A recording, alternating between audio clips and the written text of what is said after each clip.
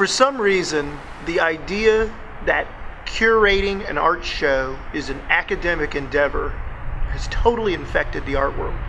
Okay, curating an art show, which is basically when you're 14 and you put a bunch of posters of your favorite rock bands or whatever on your bedroom wall, you curated a show, okay?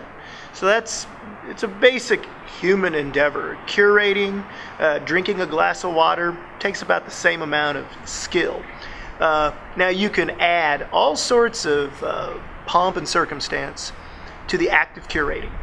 You can make it a specialty. You can make it in need of being an expertise. You can need lots of training, lots of background. Academic curators are the worst curators, and yet the art world has completely genuflected to them in lieu of having anyone else curate art shows. Anybody can curate. It takes very little training.